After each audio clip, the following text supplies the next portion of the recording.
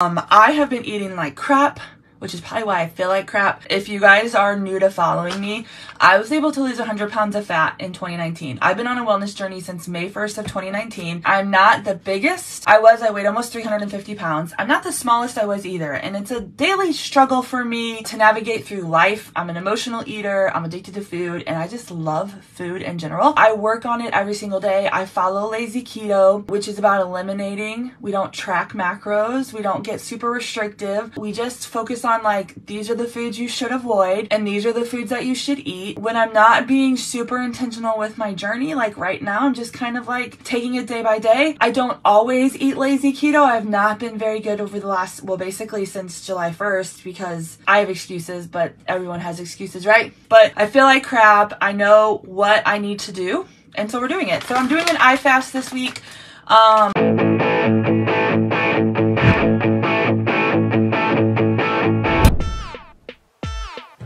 Hi, friends. What is going on? Happy Sunday night. Oh my gosh, it's your girl Mel. Coming to you live from my office here in St. Louis, Missouri. It's like 8.30 on Sunday night. I need to stay up for a little bit. Kyla's at a friend's house and I need to go pick her up in a little bit. So I was like, I'm gonna jump on Facebook and I'm gonna talk to my friends for a minute, catch them up to speed, maybe try to get my week figured out. We're traveling again this week. I'm so tired, I'm not even gonna lie. I am exhausted. I don't know how productive I'm going to be tomorrow, but I'm gonna get together a to-do list of the things I need to do, maybe Instacart. I don't even want to go to the grocery store, but maybe I do. I don't know. I don't feel like doing anything right now. I'm not even going to lie to you guys. I'm exhausted. The best week ever, you guys, just happened. It was incredible. So good. So, as you guys are popping on, don't forget to say hi. It's your girl Mel. First of all, did you guys see that I got all my hair cut off? Best decision. I have zero regrets. I took a shower when I got back home today, so I haven't like done anything to it. Like literally, I didn't blow dry it. I didn't straighten it. So, it this is this is like what you're getting, but I'm here for it. My hair was so long, you guys.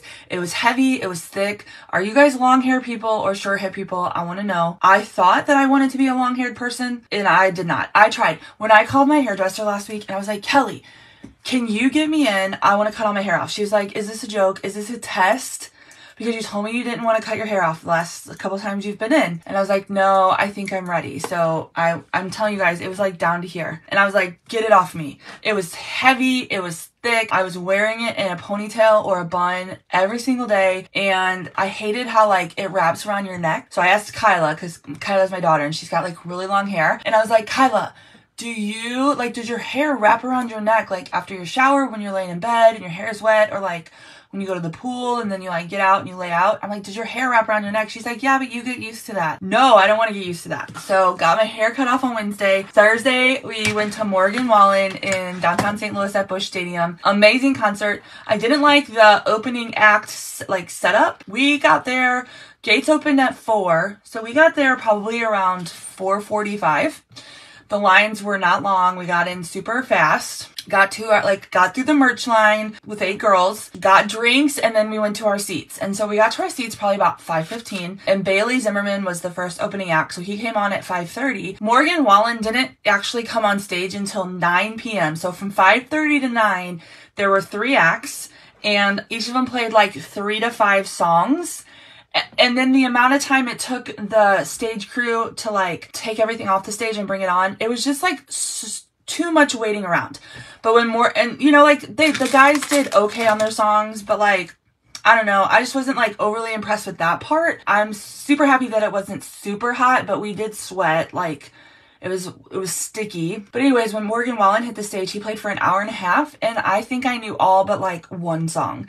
He played so many good songs and it was like bam, bam, bam, bam, like super quick. The girls that we went with, they went to Morgan Wallen last year and they said they didn't like that he didn't talk a lot. Like he literally didn't hardly say anything in between the songs. And they said like the last time that he performed, they loved his storytelling. So I didn't have anything to compare it to. I liked the like bam, bam, bam, bam, bam, all that music. That was just like nonstop. So we did that. Terrible parking lot situation. We sat there and did not move for over an hour. People were like getting super impatient. So there was lots of confrontational situations at like 11, 12 12 o'clock at night, you know, plus people had been drinking. So that like elevates the energy. Um, people were like getting out of their cars and like yelling at each other, like being super aggressive when you're not even moving to try to like get in front of you. And it's like, like we were sitting here and this person was trying to come in front of us and they were just inching every little bit. And I'm like, dude, I have been sitting in the same spot for 55 minutes. Like, I don't know what, what you're, like, I don't know. So anyways, we finally got out of there, got home about 1.30, got up and had to leave by 10 on Friday because then we drove across the state to Kansas City and went to Taylor Swift on Friday night best concert, hands down best concert I've ever been to. So I didn't know that she had opening acts. So I guess she changes them often. Maybe, I don't know. I, this is like, was a rumor like a couple of the girls around us were saying. They thought that she got like local artists that were to the areas that she's in. That's, those are her opening acts. So they're not the same for every show. So they had two of them on.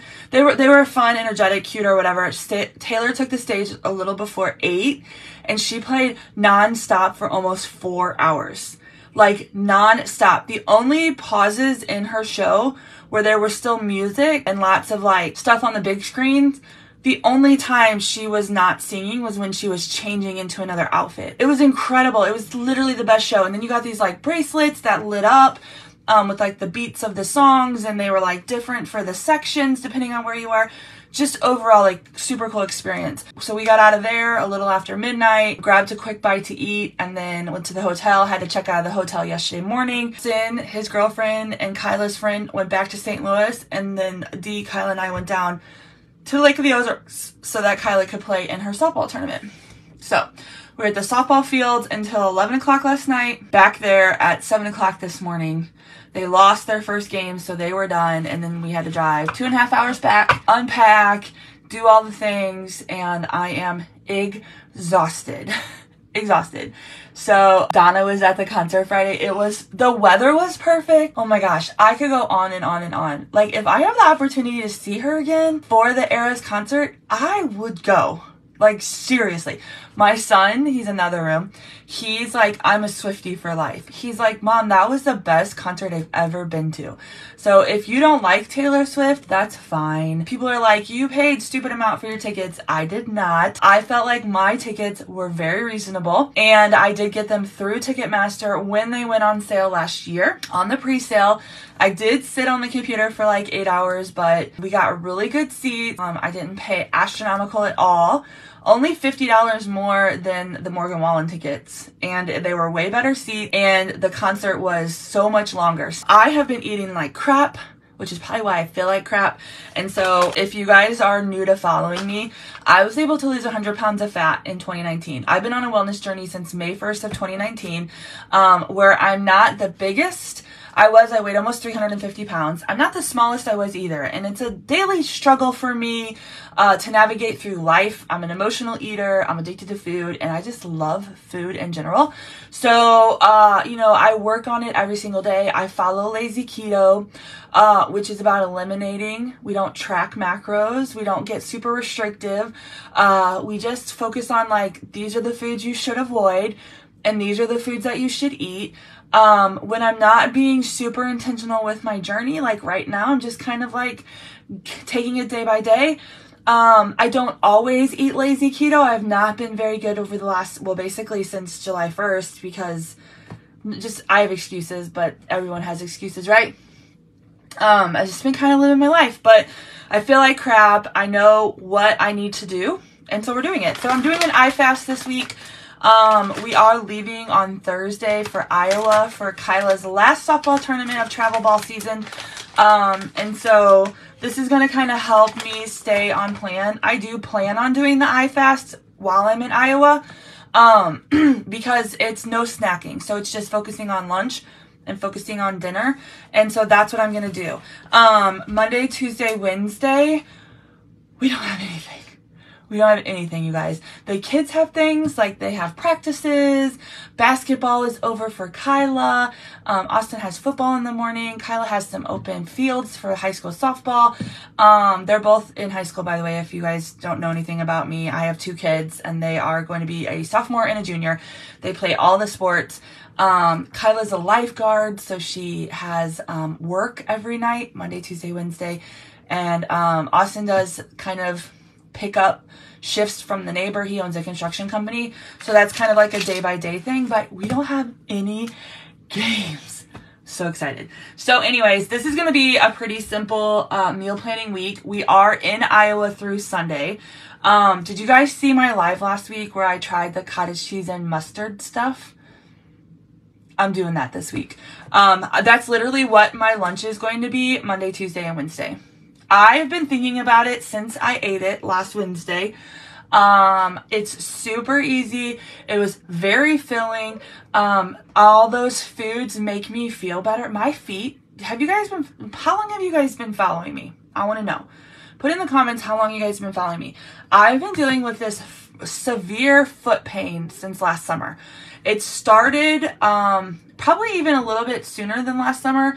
I just remember really noticing it last summer. And the only reason I remember that time frame is because one of the moms on my son's baseball team works for like an orthopedic doctor and in specializing in foot pain. And so I remember talking to her on the beach at the Florida tournament last year.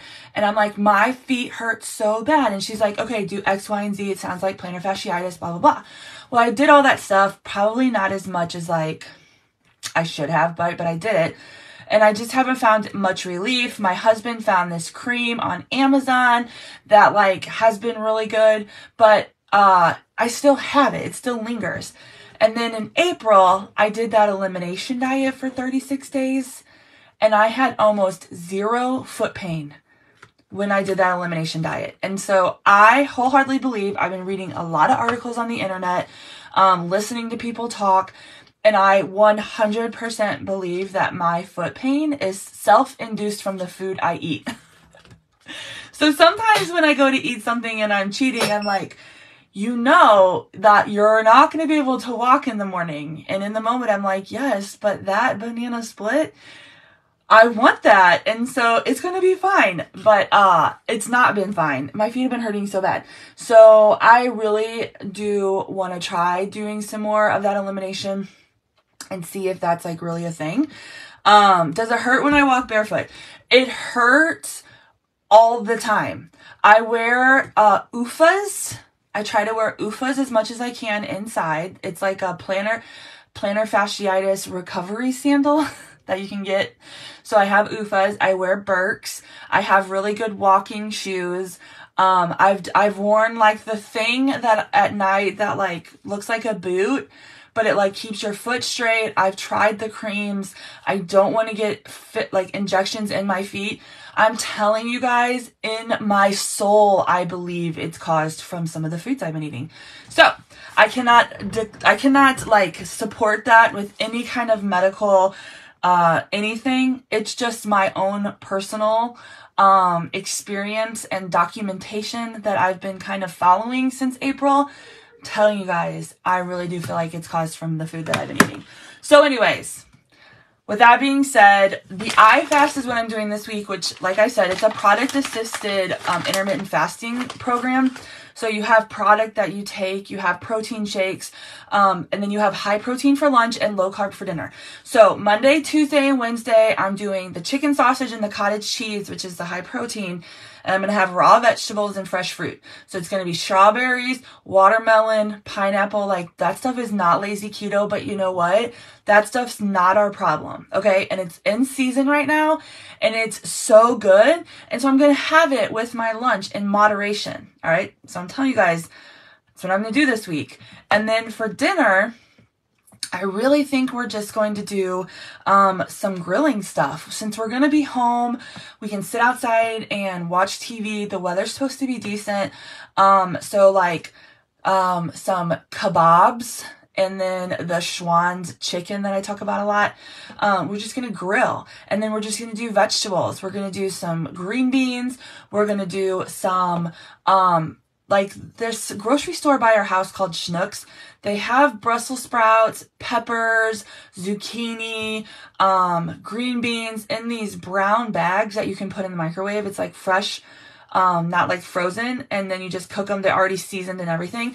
So I'm probably just gonna go to Schnucks and get some meat to grill for the three nights, get some vegetables to have with that, and that's what I'm having. I'm gonna have Chunky Monkey protein shakes for lunch on Monday, Tuesday, and Wednesday because I miss them so much. If you know, you know. If you don't know, it's literally just frozen bananas, almond milk, a heaping spoonful of powdered peanut butter and the dark chocolate protein powder that I drink. And you mix it up and it's chef's kiss, so good. And then I'll probably have creamy mint, lemon shortbread, or um, orange dream with just some vanilla unsweetened almond milk um, for my evening one. And so I'll have the two protein shakes. I'm gonna have the chicken sausage, cottage cheese and mustard, and vegetables for lunch we're gonna grill some kind of protein for dinner and have a vegetable with it, maybe a salad even. Um, whatever sounds good tomorrow when I go to the grocery store. I'm gonna have a little bit of fresh fruit with my lunch. And that's what I'm gonna do Monday, Tuesday, and Wednesday. Maybe Thursday, depending on what time we leave. And then um, through the weekend, I'm just gonna be a little bit smarter with my choices because we're gonna be doing some team stuff I know we're gonna be doing some team stuff because it's us, it's Kyla's softball team. Um, all the parents like really like each other. Um, I'm sure there'll be some kind of team dinner, but I'm just gonna be smart when we go out to eat. Probably like wings and a side salad at the restaurant.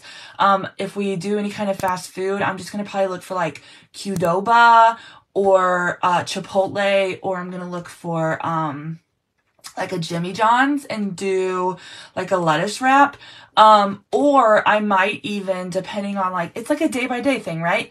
Um, or if they're gonna do like pizza in the hotel, um, I might go to like a local grocery store and get some deli meat and make like a wrap with a low carb tortilla and just have that. Like, I don't have to have the pizza. Um, you know, I, there's, there's really easy ways to navigate around all of this um, especially if you're looking for fat loss and you're on a wellness journey, you just have to like take a step back, evaluate the situation, and uh, problem solve. And so that's what we're doing. So how does that sound? And then we're just gonna drink a lot of water. Um, a lot of water this week. I've had some soda this week. I can tell you guys that um, it doesn't taste as good. It's been a long time since I've had soda. Um, and I've had some soda recently, and um, I don't drink them all.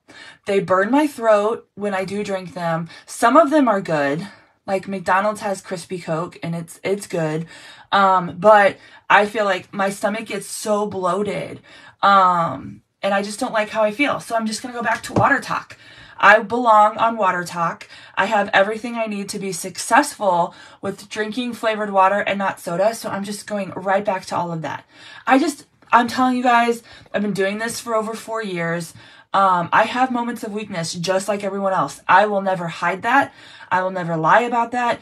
Um, that has been my life for the last nine days. Uh, but like, I feel like absolute crap. I don't feel good. So I can, I know what I need to do and I just need to do it. So that's what we're focusing on. So um, if you guys want to do the iFast with me, I'm coaching in um, Journey to Better, which is a group that I think most of you guys are in. Um, but if you're not, let me know. Uh, that's what I'm going to be doing because uh, it's a community wide.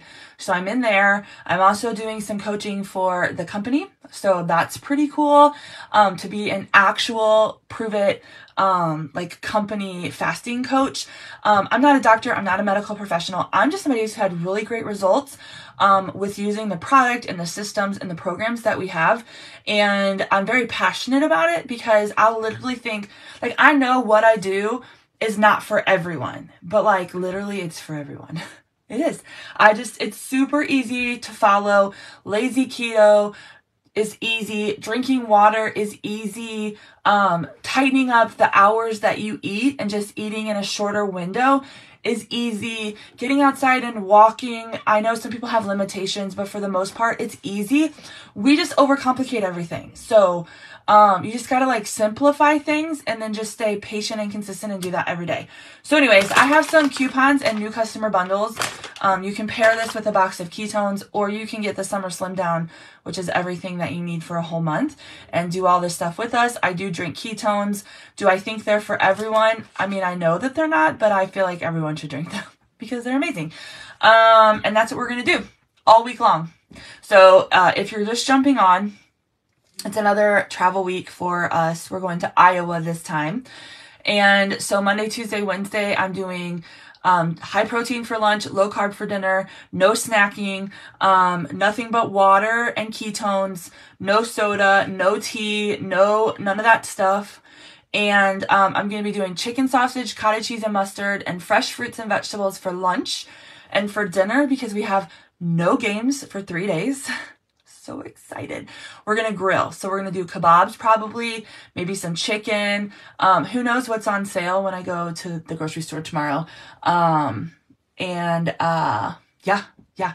And we're just going to do that and a, vegetable. That's what we're going to do for dinner. Drink our protein shakes, drink our water, um, get out and walk every day for at least 30 minutes. Um, and we're just going to do that. That's what we're focusing on five days right? Anybody can do anything for five days. That's what we're gonna be doing for five days.